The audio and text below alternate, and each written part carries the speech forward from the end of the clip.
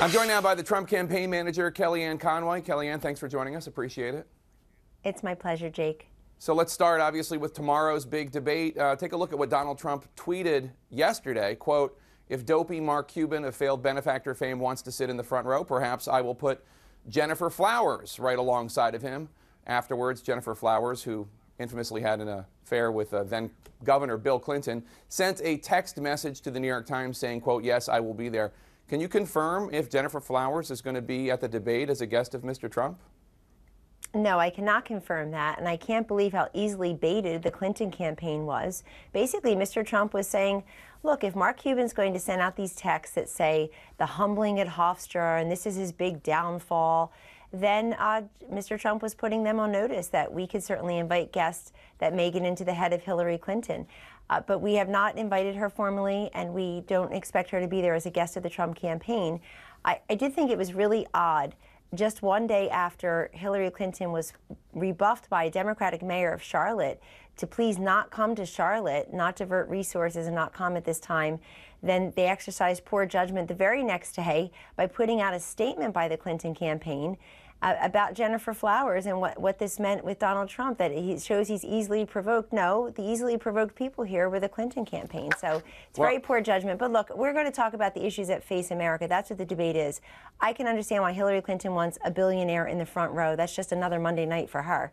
But we're going to talk, we're taking the case directly to the American people tomorrow night. Just as a point of fact, I think both Trump and Clinton were talking about visiting Charlotte, and the mayor said that they didn't have the resources for either one to visit. But I think it's curious, and probably a lot of viewers are wondering you think that what's odd is the Clinton campaign's reaction to Donald Trump tweeting about somebody that her husband had an affair with decades ago, not the fact that Donald Trump tweeted something about someone that the nominee's husband had an affair with decades ago.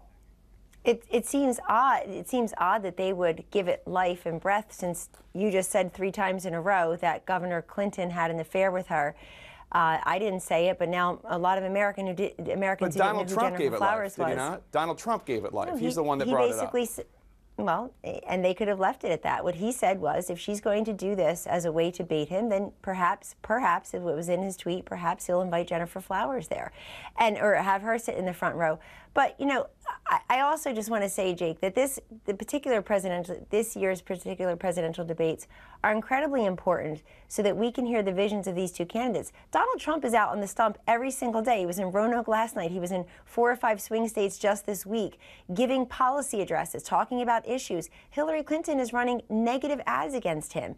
You know what should be fact checked? Hillary Clinton's campaign two weeks ago saying she was going to become more uplifting and optimistic and aspirational. Where was that? Where has that gone? It's negative ad after negative ad.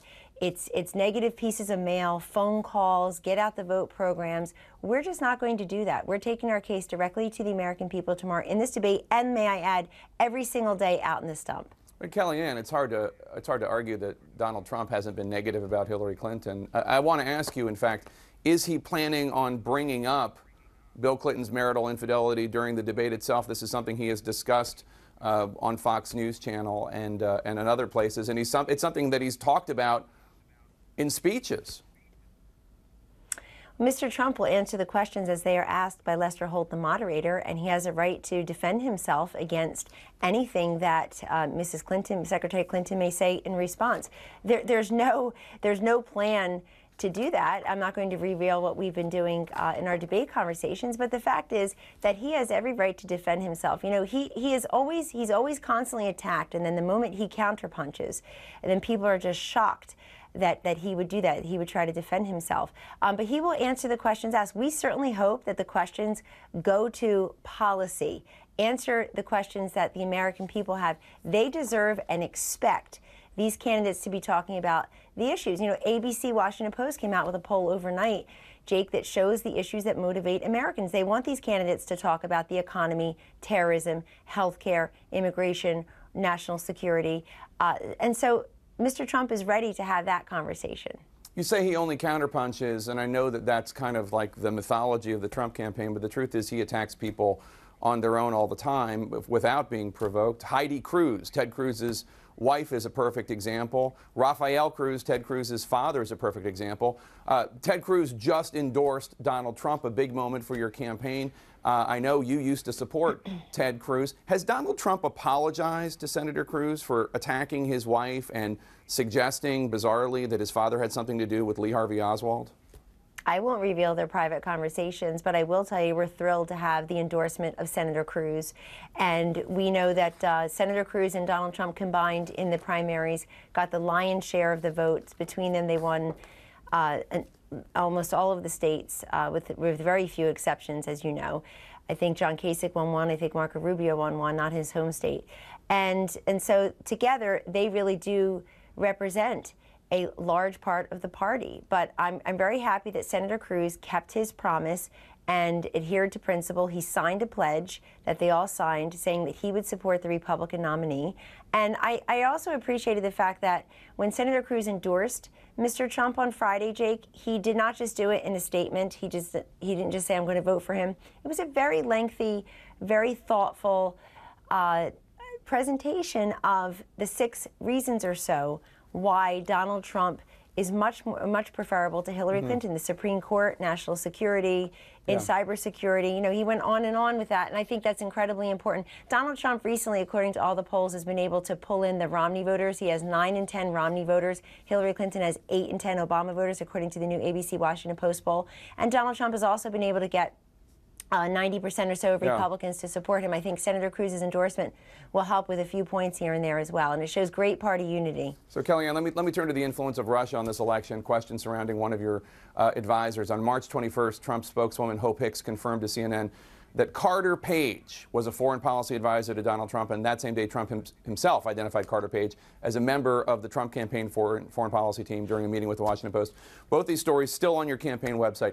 We now learned from Yahoo News that Mr. Page has opened up private communications with senior Russian officials about lifting economic sanctions. Has your campaign spoken with Mr. Page about this?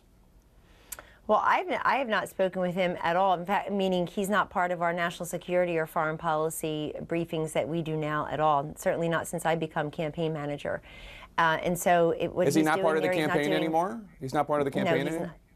He's certainly not part of the campaign that that I'm running. Meaning, we don't have him. We have a number of people, uh, fabulous people, men and women, as part of our national security and foreign policy team, and and he's he's not among them at Trump Tower. Uh, and I also will say, if he's doing that, he's certainly not doing it with the permission or the knowledge of the campaign, the activities that you described. So if he's out there talking to Russian officials, he's not doing so on behalf of the Trump campaign in any way, shape, or form. He is certainly not authorized to do that. All right, Kellyanne Conway, thank you so much, and good luck at the debate tomorrow night. We'll all be Thank watching. you, Jake.